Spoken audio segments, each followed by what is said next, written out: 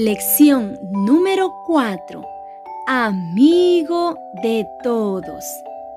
El versículo para memorizar se encuentra en el libro de Efesios capítulo 4 versículo 32 y dice, sean buenos unos con otros. El mensaje, servimos a Dios cuando somos bondadosos con las personas, los animales y la tierra. ¿Te gustan los animales? ¿Cuál es tu animal preferido? ¿Qué te gusta hacer con los animales? ¿Acariciarlos? ¿Alimentarlos?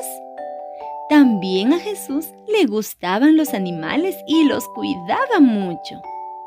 La mayoría de las familias que vivían cerca de Jesús tenían por lo menos un animal. ¿Puedes adivinar qué animal tenían? Sí, un burrito. Los burritos son animales fuertes. Son buenos para llevar cosas. Cuando la familia de Jesús iba a alguna parte, Jesús ayudaba a José a cargar el burrito con alimentos y ropa para que los llevara. Jesús amaba al burrito de su familia, ayudaba a cuidarlo, se aseguraba de que el burrito tuviera alimento y agua. Cuando terminaba el trabajo del día, Jesús lo alimentaba y le daba agua y lo guiaba a un lugar protegido para que descansara durante la noche. Jesús era bondadoso con los animales de otras personas. Si veía a algún niño que estaba molestando a algún animalito, a veces tomaba en sus brazos a algún animalito y lo acariciaba. Si el animal parecía hambriento, le daba algo de comida. Siempre tocaba a los animales con suavidad. A los animales les gustaba estar cerca de Jesús. Los caballos se acercaban al cerco cuando Jesús pasaba por allí. A los gatos les gustaba rozar sus piernas. Los perritos querían lamer su mano. Hasta los animales silvestres les gustaba Jesús.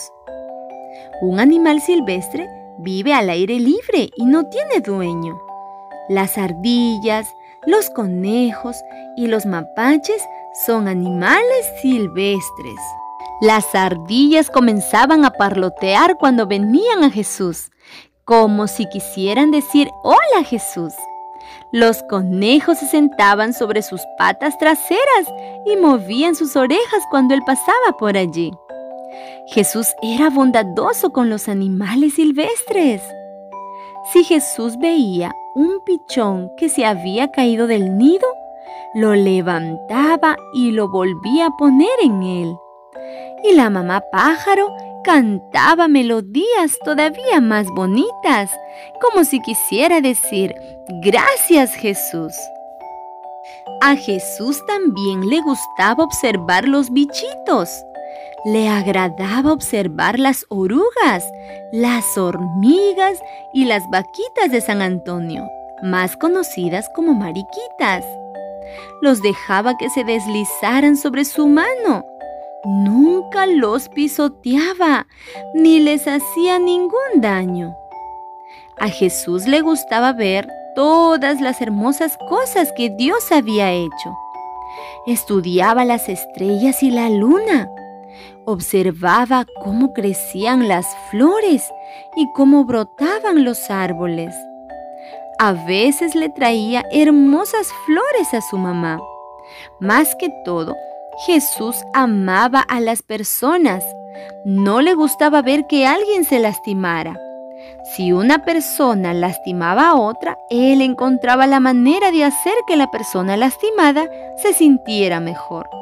Compartía su comida con las personas hambrientas. Si alguien tenía sed, él le daba un vaso de agua. Jesús jugaba con los niños a los que nadie quería. Visitaba a las personas que no tenían familia. Hablaba con bondad a todos. A la gente le gustaba estar cerca de Jesús porque siempre estaba contento y alegre. Cantaba mientras hacía su trabajo Al escucharlo, sus vecinos se sentían bien. Jesús también era bueno con la tierra.